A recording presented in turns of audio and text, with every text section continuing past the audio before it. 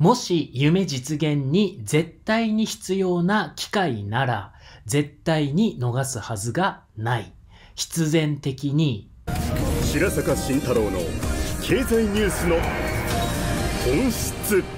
白坂慎太郎です。この番組は子供たちに明るい未来をつなぐために壮大な夢実現を真剣に目指し続けている志が高い事業家の方へ利益最大化に貢献する企業戦略を共有する番組です。はい。さて、ということで今回は夢実現で最も大切なことはということでやっていきたいと思います。はい。結論は信じるというのは今回の結論です。ぜひ最後までご視聴ください。よろしくお願いいたします。はい。まずですね、まあ、目標と夢の違いというところから確認しておきたいと思います。はい。目標っていうのは、まあ、現状の延長線上でも、まあ、頑張れば達成可能なものですね。まあ、これを目標というふうにしていますということです。だから、まあ、今までの過去最高っていうのは、まあ、ここの数字だったんだけど、今年はこの過去最高を、まあ、例えば1.1倍とか、1.15倍とか、1.2倍とかですね。まあそういうふうに、あ、じゃあ、まあこれまではこれが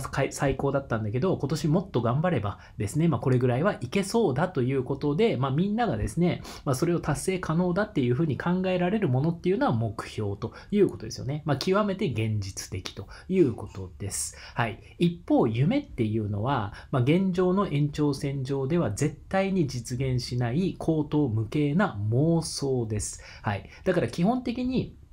周りの人たちに、まあ、例えば話したならば、まあ、本当にそんな夢みたいなことをみたいなですね。もっと現実を見ようよと。現実を直視しようっていうふうに、まあ、言われてしまうようなものっていうのが夢だということです。はい。もう10倍以上と最低ですよね。で本当だったら10倍、100倍、1000倍っていうのを、まあ、目指していくわけですけど、まあ、最低でも10倍以上今までの、まあ、過去最高よりも、まあ、いい結果っていうのが夢ということです。はい。で、もしですね、まあ、目標であれば、まあ、現状の延長線上なので、まあ、達成方法っていうのは分かってるわけですよね。で、今まではここまで来てましたと。まあ、それを例えばプラス、あかける1.1倍とか、かける1.15倍とか、かける1.2倍なので、あ、じゃあまあこれをですね、まあ、もっと多くの人でやればとか、もっと時間をかけてやればとか、もっとここの部分を改善してやればということで、まあ、結構もうみみんながやることが分かってる。達成するための方法っていうのが分かってるということですよね。はい。であれば、もうあとはどれだけですね、まあ、PDCA ですよね。プラン、do、チェック、アクション、計画立てて実行して、数字で検証して、で、実際結果を改善させる、え行動を改善する。まあ、こういった PDCA っていうのをもうぐるぐるぐるぐる高速回転させるということですよね。だからまあ、例えば1年で1回 PDCA を回すっていうことになると、まあ、1年で1回しか、ま、結局改善が行われないということですよね。はい。これがま、例えば3ヶ月に1回 PDCA を回すってことになれば、まあ、1年間で4回 PDCA を回せるということになりますますよね。もし1ヶ月に1回 PDCA を回すってことになると、まあ、年間12回回すってことができるということです。もし1週間で PDCA を1回回すってことになると、まあ、1年間で52回 PDCA を回すってことができるわけですよね。はい。だからまあ結果的にまあすごくいい結果を出してるとか成功するっていう場合は、基本的にこの PDCA の回転サイクルっていうのがまあ早いということですよね。だから1年に1回しか回してないってことになると、まあ、次の結果を改善さ改善ささせるのに1年後ってことになるわけですよ。でも例えば1週間で PDCA 回してるってことになると、あと51回改善することができるわけですよね。だからもう確率論的にやっぱり PDCA のサイクルっていうのが早ければ早いだけ、やっぱり目標達成の確率っていうのはどんどん上がっていくということです。はい。一方ですね、まあ、夢ということであれば、まあ、現状の延長線上では絶対に実現しないので、そもそも方法がわからないんですね。もし分かってるならば、もう叶えてるはずなんですよ。はい。まあ、方法分かってますということであれば、もう叶えてるはずなんですよね。じゃあなんで叶ってないんですかって言ったら、それはそもそも方法が分かんないからということです。はい。だから方法が分かんない、今まで叶ってない、だけどこういうふうに30年後、20年後、10年後なってたら最高だよねということであれば、じゃあこの状態が最高でそういうことを実現したいんだけど、でもどうすれば実際叶うのかっていうのはまあ見えてない、わからないという状態です。はい。当然ですね、まあ、可能性があることっていうのをもう思いつき次第、手当たり次第でもうやるということになります。はい。もう試行錯誤の連続ということですよね。はい。アイデアが生まれる過程はぐちゃぐちゃです。頭に電球が灯る瞬間などありませんと。混沌の中での試行錯誤による結果ですということですね。はい。なので、まあ、現状から夢実現までの途中過程っていうのは、もう暗中模索ということですね。はい。そして、まあ、夢実現までの過程ということで言うと、まあ、右肩上がり一直線っていうことは、これはもう絶対になくですね、まあ、100%ま上がったり下がったりというのの繰り返しということになります。はい。で、もしですね、まあ、努力してるのに結果が下がったと、上がったり下がったり、上がったり下がったりするってことは、努力してんのに結果が下がるってことも当然体験すると、もし夢を叶えようと思ったならばということですよね。はい。そうしたら、まあ、努力してるのに結果が下がったってことになると、まあ、99%の場合どうなるかということなんですが、もうこれは諦めるっていう方向にま向かってしまいがちということです。はい。しかしですね、ま、内部ですよね、ま、いわゆるま自分自身とか自分のチームとか自分の会社組織とか、まあ、そういう内部のま行動量ですよね。まあこれであれば制御可能なわけですよ。それこそ PDCA ということで言えば、じゃあ1年間で1回回すのか、3ヶ月に1回回すのか、毎月回すのか、毎週回すのか、これは制御可能ですよね。じゃあ私たちは毎週 PDCA を1回転回しましょうということは、まあ、やろうと思ったらできます。はい。しかし外部の要因である結果っていうのは、これは完全に制御することは不可能ということですよね。もしそれが制御できているように見えるというのであれば、もうそれはもう現状の延長線上の、ま結果だから、まあ、結局制御ができているように見えるだけで、まあ、夢ということで言うならば、結果は基本的には制御できないということです。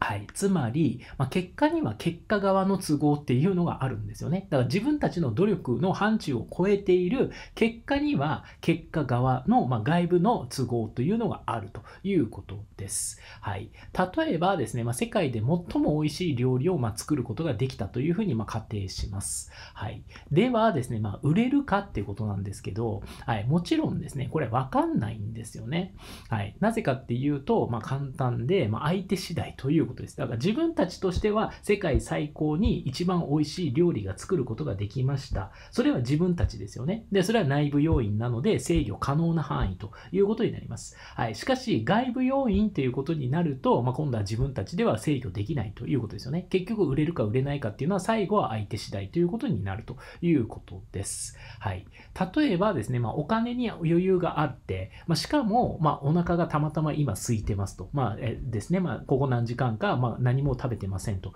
いうような、まあ、お腹が空いて、まあ、ペコペコの相手がまあ目の前にいるということであれば、これは世界で一番美味しい、え料理だったら売れますよね。はい。しかし、お金に余裕がない、えー、そして食後すぐで、まあ、さっきご飯食べたばっかり、しかもお腹いっぱい、え食べたばっかりという相手だったとしたら、たとえ自分たちが準備しているものが世界で最も美味しい料理だったとしても、やっぱり売れないということです。だから結果がコントロールできないということなんですよね。はい。だから、まあ、内部の行動量に関しては制御することが可能だったとしても、外部の結果に関しては制御ができませんということです。はい。ではですね、まあ、夢実現への過程っていうのは、まあ、試行錯誤の連続、途中過程が見えない暗中模索、しかも上がったり下がったりをえ体験するということですよね。はい。しかも、努力してるのに結果が下がるっていうことも体験しますということです。はい。にもかかわらず、夢実現を決して諦めずに、まあ、ネガティブの悪循環に入らないってことが大事ですけれども、じゃあどうすればネガティブの悪循環に入らないっていうことができるのかということですよね。はい。で、まあ、ネガティブの悪循環っていうのは、人はもともと本能的に否定的ですということですよね。だから自分たちとか、まあ、自分自身、自分の家族、自分の会社、そういう自分の、まあ、近くにいる、まあ、組織とか、えっていうことに対して何か危険をもたらすものっていうのに、24時間365日、まあ、注意を張り巡らせる、まあ、そういう本能っていうのを持ってますということですよね。だから快楽よりも痛みの方に、まあ、2倍強く反応する、えっていう、まあ、そういう本能っていうのを持ってますと。だから基本的的に何かまあ悪いこととか注意しなければならないことっていうのにももともとアンテナが立ってるわけですよね。で、そこで、まあ、例えば努力してるのに結果が思い通りいかなかった、まあ、自分の想定よりも悪い結果っていうのに、まあ、現実として直面したならば、まあ、どういうふうになりがちかということで、まあ、本能的に悪いところに焦点が向かう人間が悪い結果に直面したならば、まあ、否定を強化しながらの、まあ、犯人探し、誰が結局悪かったんだとか、もしくは自分の行動っていうんだったら、なんどんな行動がが良くなかったのかっていう、まあ、その犯人、犯行探しみたいな感じで、まあ、どんどんどんどん他人とか自分自身っていうのをまあ責めるというようなまあ方向に行きがちということですよね。まあ、これが否定、ネガティブのまあ悪循環ということです。はい。で、もしネガティブの悪循環に入りそうになったら、まあ、1秒でも早く悪循環っていうのを断ち切るということがまあすごく大事になるということですね。はい。じゃあどうやって、まあ、例えば頑張ってます。でも結果は逆に悪くなりました。下がりました。で、そこでネガティブの悪循環に入らないで、1秒でも早く断ち切るということであれば、じゃあどうやって断ち切ることができるのかということなんですけど、はい。これはズバリですね、まあ、信仰心と、つまり何かを信じてる心で、まあ、断ち切るということです。はい。結局ですね、まあ、夢を実現できる人っていうのは何かを信じ続けた人っていうことが言えると思います。はい。なおですね、まあ、何を信じるかっていうのはこれ完全に本人次第なんですよね。はい。なぜかっていうと、まあ、社会も人生も正直ですね、真実ではなくて解釈の集まりだということです。もし何か真理ですよね。まあ、だからまあ古今東西変わることがなく、もう真理があるということであれば、もうこれ変化ってことしか言えないわけですよ。ありとあらゆるものは常に変化し続けてます。まあ、これだけが真理ですよね。逆に言えば変化以外のものっていうのは真理がないわけです。はい。だから、ある時代では正しかったとしても、ある時代が、になったら全然正しくないとかですよね。もしくは国が違えば、民族が違えば、まあ、性性が違えばですよね。まあ、年齢が違えば、時代が違えば、まあ、とにかくなんかこう正しいと思われているような、その考え方、価値観、解釈っていうのはどんどん変わっちゃうということです。だから変化し続けるってことだけは真理だったとしても、逆の言い言い方をしたら変化以外のものっていうのははっきり言ったら解釈に過ぎないということです。だから、どの時代の誰が解釈してるのかっていうことにも過ぎないということですね。はい。で、もし何か特定の対象を全員が信じた方がいいということになると、まあ、紛争や戦争っていうのが起きてしまうということです。だから、まあ、私たち人類の歴史の、ま、紛争とか戦争っていうのは結局何が正しいのか、誰が正しいのかと、えどんな考え方が正しいのかっていうことで結局、ま、紛争とか戦争をやってきたということですね。はい。で、なぜかっていうと、まあ、私たちの解釈こそが絶対的に正しいということになると、あの人たちの解釈は絶対的に間違ってるっていうふうになってしまうということですよね。はい。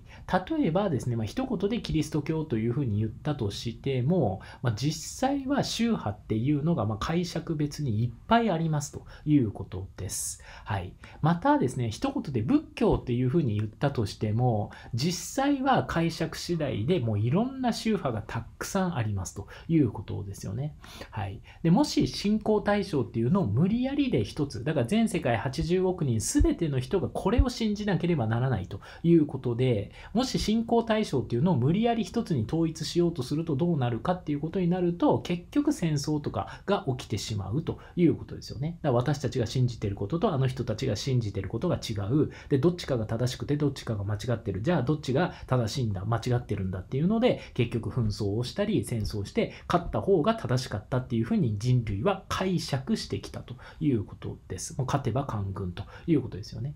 はい。だから、まあ、信じる対象っていうのはま何でもいいわけです。それを無理やり統一して、まあ、全員がこれが正しいんだから、この考え方、この解釈が正しいんだから、全員がこの考え方、解釈を信じなければならないってことになると、紛争、戦争が起きてしまうので、そこを統一しようとするっていうのは良くないんですよね。はい。だからもう信仰の自由ということで、まあ、信じたい対象を各人が自由に信じればいいということです。はい。ただですね、まあ、夢実現まで努力し続けることが、まあ、できる一番の源は何かというふうに聞かれたならば、もうこれは間違いなく信仰心ということです。何を信じてもいいんですけど、何にも信じてないっていう人はやっぱりですね、まあ、途中でも諦めてしまうということですよね。何かを信じてたから、どんな途中過程であったとしても必ず夢実現まで努力し続けることことができているということです。はい、で何かを信じていたから、まあですね、途中どれほど思い通りにいかないことを体験しながらでも夢実現まで努力を続けられたということですね。はい、ちなみに、まあ、白坂が個人的に信じていることっていうのはですね、まあ、どんな考え方なのかっていうと、はいま、ズバリですね、まあ、これは縁起ということです。これはまああくまでも白坂個人が信じていることということですね。すべては縁によって起こっているということです。はい、すなわち縁起って何なんですかって言ったら全ては縁によって起こってるってことなんですけどその縁っていうのが、まあ、結局負に落ちてるかどうかって感じなんですよね。だから縁起じゃない考え方っていうのは、まあ、つの原因があって一つの結果が起きてるっていうのはこういうこう1対1で考えるっていうのはこれは縁起の思想ではありません。えそうここれは縁起の思想ではないということです。はい。そうではなくて縁起の思想っていうのは無数の原因ですよね。だからもう10とか100とか1000とか1万とか10万とかっていうことじゃなくて、もう無数の原因によって一つの結果が起きてる。これが縁によって起こってるっていうことです。はい。だから、なぜ起きたのかの原因っていうのは、まあ、人知を超えてるんですよね。まあ、人間の脳っていうのは大体7プラスマイナス2ってことで、まあ、5から9ぐらいだったら、まあ、なんとか理解できたりするわけですけども、もう10を超えてくるってことになると、基本的には理解できないんですよね。だから、まあ、例えば10個のことが理、え原因で起きてますとか、20個のことが原因で起きてますってことになると、もう脳は理解できないわけですよ。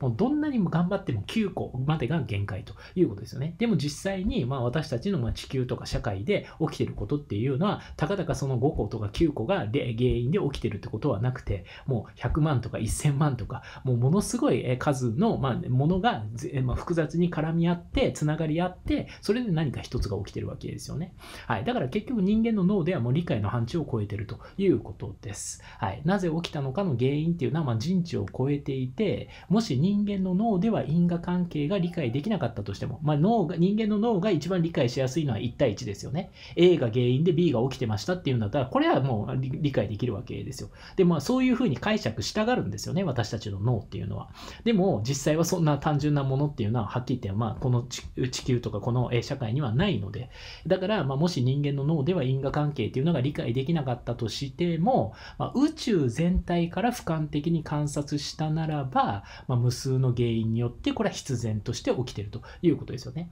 だから仮に人間の脳が理解できなかったとしてもいろんなことが複雑につながり合って絡み合ってそれで結果的にここの部分はこうここの部分はこうここの部分はこうここの部分はこうっていうのが全部組み合わさった結果何か一つの結果が起きてるということです。だから原因はあるんですね。原因はあるんです。ただそれが特定の一つじゃないと。無数の原因によって一つの出来事が起きているということです。だから、まあ、まあ、まあ、完全になんかこう魔法とか超能力みたいな感じで因果が全部飛んでるわけじゃないわけですよ。原因ないのに結果が起きてるわけじゃないということです。さあ原因は必ずあるんですね。原因は必ずあるんですよ。で、結果が起きてるわけです。だから結果が起きてるってことは原因は必ずあるんだけど、だからその因果は成立してるんだけど、問題はその原因っていうのが一つじゃないので人間の脳が理解できないということです。必然っていうのは原因があってこそ結果が起きてるっていう意味で必然ということです。はい。この世に偶然はありませんということですね。なので、仮に想定よりも悪い結果に直面した時に、もしあの時私が違うことを選んでいたら違う結果になったんじゃないかなとか、もしあの時私が違うことを言っていれば違う結果になったんじゃないかなとか、もしあの時私が違うことをやっていれば違う結果になったんじゃないのかなとか、まあ、いわゆる後悔すること自体が全て時間の無駄ということですね。はい。単に後から振り返ったら別別の選択ができたような気がするだけということです。はい。まるで、ま大暴落を予測できていなかったのに、いざ大暴落が起きた後になって、〇〇が原因で大暴落が起きたと後解釈しているのと、まあ、似たようなものだということですね。はい。はっきり言って意味がないということですよね。はい。同じように、後から振り返れば別の選択ができたような気がするだけで、実際はできなかったんですね。ああ、あの時、あ、こっちの方 A じゃなくて B 選んどけばよかったなと。あ、こあの時 A じゃなくて B って言っとけばよかったなと。あの時 A っていう行動じゃなくて B っていう行動をやっておけばよかったなっていうふうに、後から思ってたとしても、それは実際はできなかったってことなんですね。だ必然的に A を選んでいるということです。はい。なぜかっていうと、その時その瞬間の自分としての必然の選択越してるっていうことなんですよね。はい。すなわち、過去数十年間の全人生体験の集大成として一つの判断っていうのをやってるわけですよ。じゃあなんでその時 A を選んだんですかと。なんでその時 A って言ったんですかと。なんでその時 A っていう行動をやったんですかその A を決めることっていうのは過去数十年間の記憶の連続で作られているもので結局判断してるわけですよ。うん、だからものすごく、まあ、脳の中ではいろいろ今までの人生の、まあ、体験を全部集大成的にした時に、まあ、自分としては A を選ぶのが最善だというふうに判断したわけですよね。だからもう絶対に過去の数十年の記憶の集大成ということでは本人としては A しかなかったんですよ。A が必然だったんです。はい。だから、要するにですね、一つの判断っていうのは無数の経験によって、まあ、行われているものなので、だから、後から他の B が選べたような気がするだけで、実際は選べなかったということです。はい。だから、たとえ人間の脳では偶然で起きているように感じたとしても、宇宙全体から俯瞰的に観察したら、無数の原因によって必然として起きているということです。必ず原因因がありますと。必ず原因がありますと。それは特定の一つの原因という意味じゃなくて、原因がないのに結果が起きていることはないということです。絶対に100%結果、原因があるんだけど、ただそれは人間の脳が理解を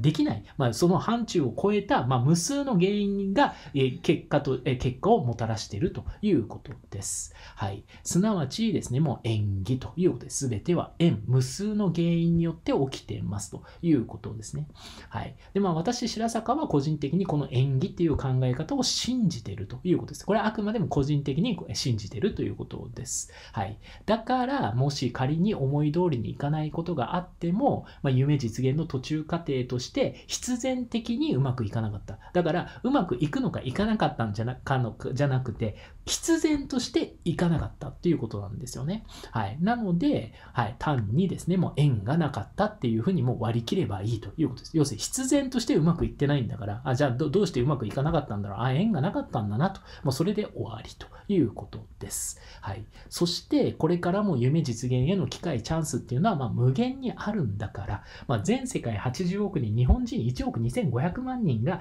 いるわけですよね。で、まあ、人の悩みは無限。人の、ま欲求、欲望も無限なわけですよ。はい。だから、夢実現っていうのは何か特定の方法とか、特定の手段でなければ必ず叶えることができないってわけじゃなくて、まあ、ま縁がなかったものには執着しないということですよね。もうそれこそ機会、チャンスっていうのはもう星の数ほどあるんだということで、もう、え無限にあるというふうに割り切ってしまって、悪循環に陥る前にさっさと過去を断ち切るということですよね。なんであの時あれを選んだんだろうっていう過去を考えているのがもう時間の無駄なわけです。はい。もうさっさと過去を断ち切って、はい、次ということです。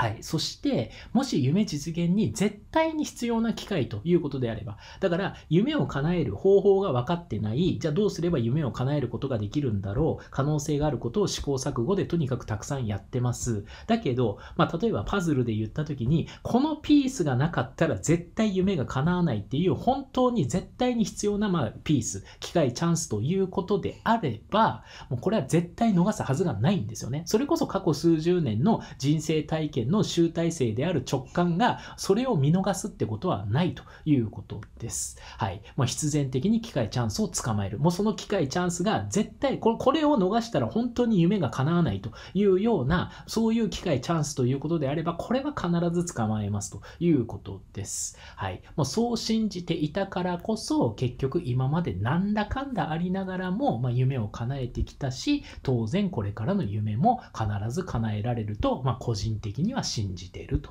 いうことです。はい。以上、まあ、夢実現で最も大切なことっていうのをまとめていくと、